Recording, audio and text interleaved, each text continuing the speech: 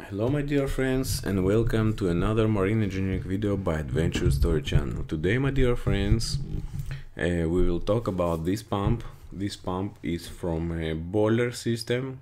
This is called boiler fuel oil supply pump and we will describe little of this kind of pump. Uh, it's screw. It's different one. It's not uh, like a centrifugal that we have uh, told before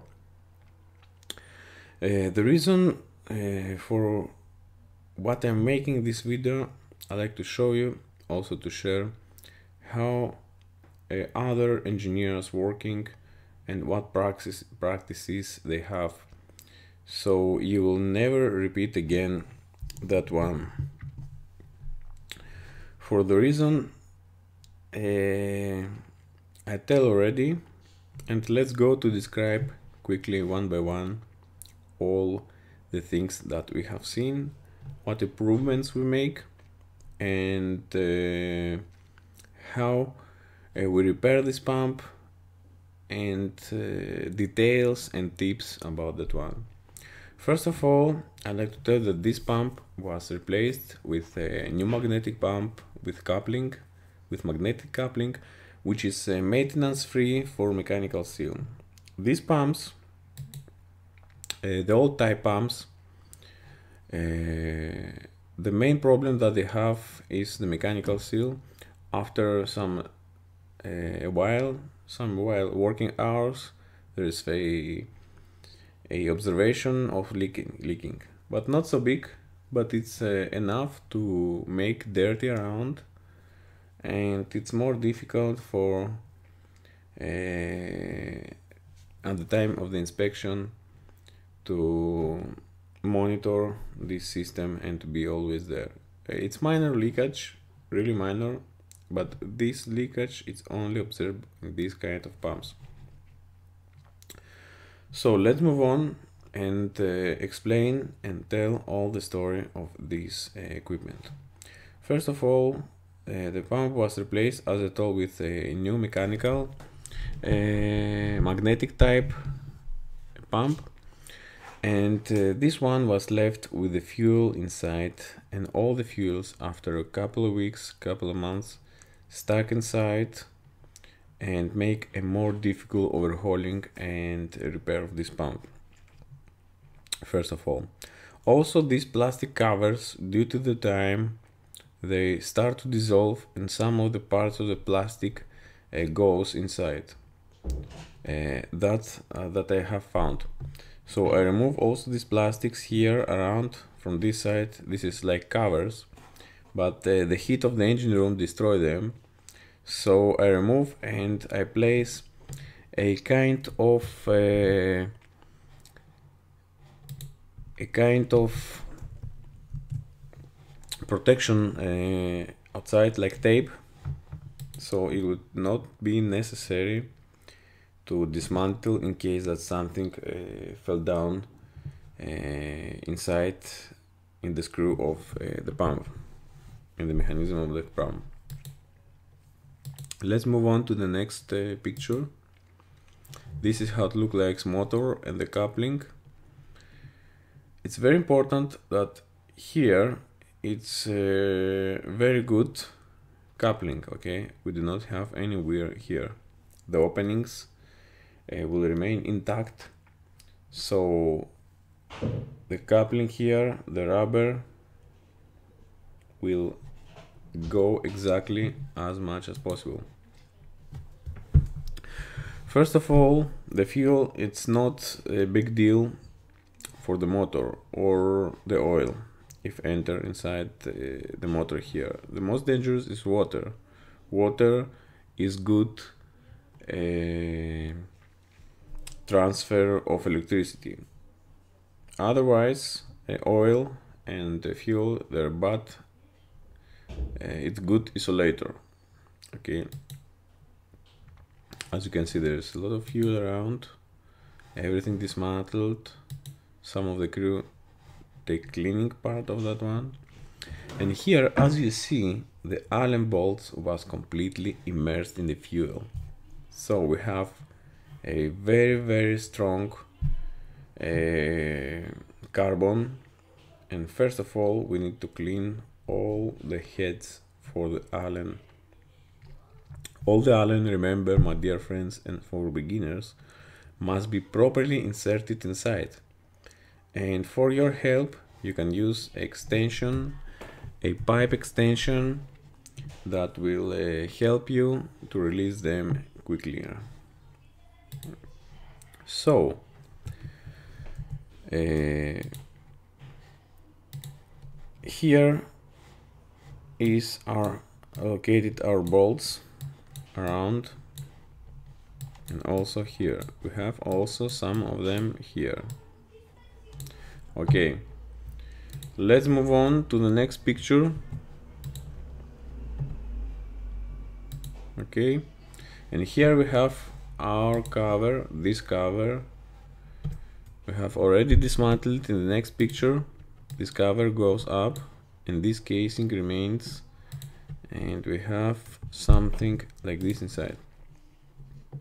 This one uh, this one and this called idle idle screws and this is the main shaft which have also a screw which give uh, the rotating power to these idle uh, screws. So uh, when you remove them from the pump just be sure that you place them in the same place. Uh, if you accidentally uh, mix them it's not big deal but uh, it's better to place them as you remove them. This is the most important. So also when you remove them you can observe if you have any wear uh, in all the parts here around. And also if you see there is a details here that separates your uh, screw it's really really different. When you remove them you just check and observe how you remove them so it will be easier for you to place them and uh, repeat the assembling later more easier. First of all also if you forget uh, how you can understand that this is the proper uh, action that you take and you position like that. This here this shaft always goes outside outside of the pump. Just have it in, my, in mind. The most designers that I have seen make it like that because this is like a bearing here. This metal is like bearing and supports all the weight of uh, this uh, screw. So just have it in mind. Next we will move on we will clean all our surface we will find all the gaskets the necessary gaskets. And this here this uh, thing here that you can see on this side it's uh, the pressure relief valve also which is protect the pump. And what it does when it opens it sends again the discharge pressure to suction. It internally break the pressure and that's why we have a, a safe a protection of our system of our pump. This is to protect the pump not the line. Uh, other safety valves and safety protection is located on the system and on the line which protects the line. Here also we have our indication the label the plate label the model and it's easy to identify inside the manual which model we have and what spares we can order. Also, we clean all the surfaces here to be ready for assembling. And that was the top of the pump okay? Because there is also the bottom. There's a gasket here the gears that we found what was fine we will change also the bearing and also the mechanical seal uh, the point was that after removing all the parts, the most difficult part was to see the mechanical seal because it was so uh, so bad uh, around with this carbon that I cannot really really estimate where is mechanical seal starts and where ends.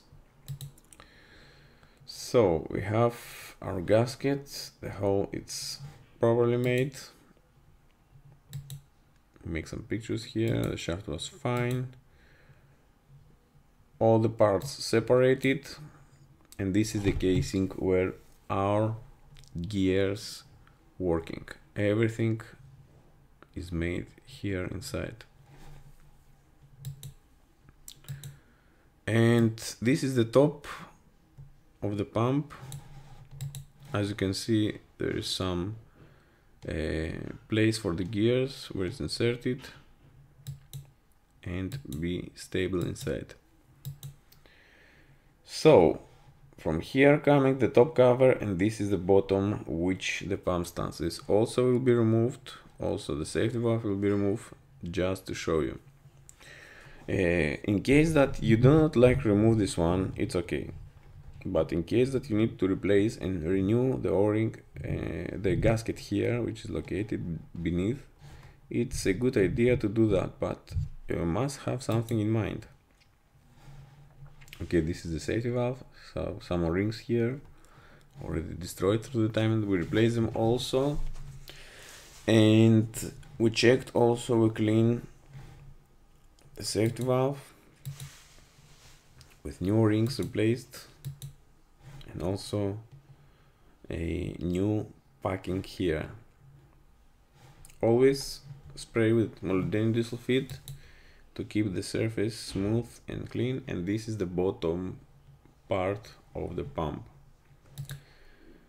Okay that is it. Here is the place where our idle gears inserted. I will show you this one and this one and after fine cleaning as you can see it's more better because there is no fuel remain. We can connect our uh, parts. But the most important is I will show you here when you connect this part it's necessary to not tie them completely. Just put the idle here and here and then tight your bottom. Because if you tight first the bottom it not be properly aligned and you will be, have a difficulty here on the idle. This is the most important if you make the bottom overhauling.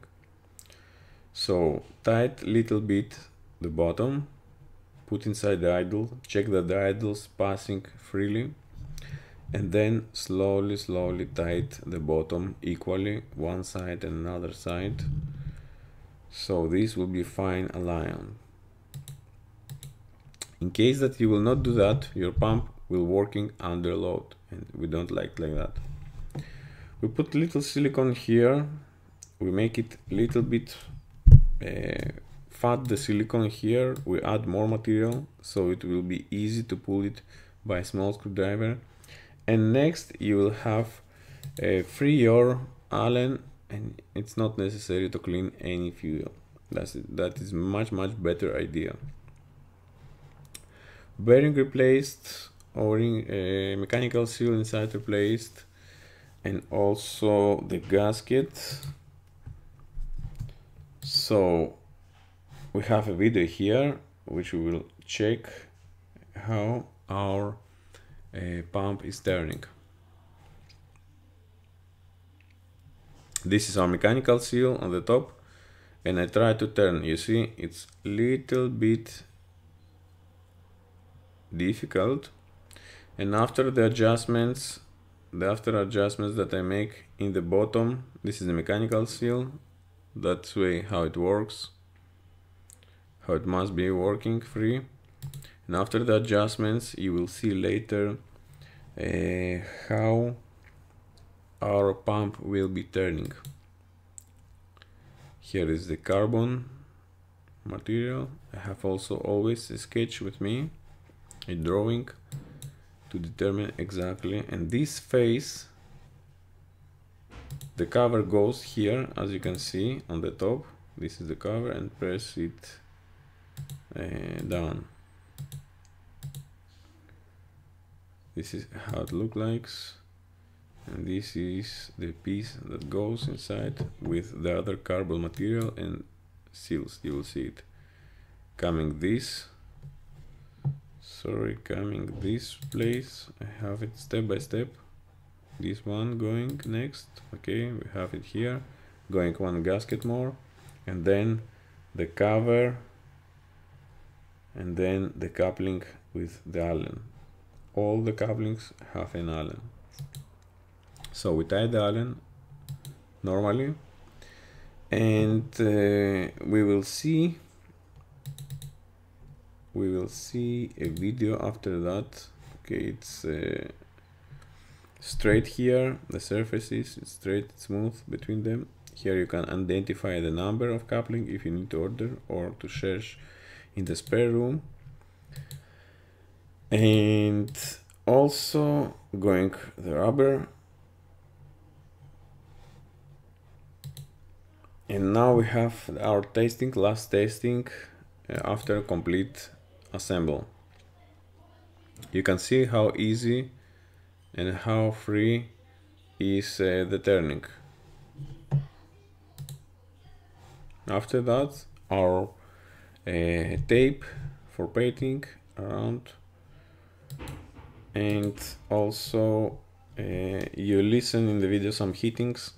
Our fitter prepare uh, this uh, interesting uh, stand which we before have discussed with him where we will put and how we will put and how we will arrange in the engine room. After assembling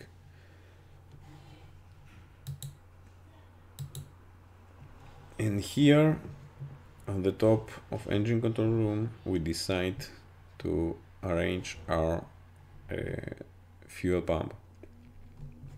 The reason what we for what we arrange in this uh, position was to avoid any excess vibration from the moving. If you have if you have positioning a a pump vertically on the stand okay? When you put something in this place.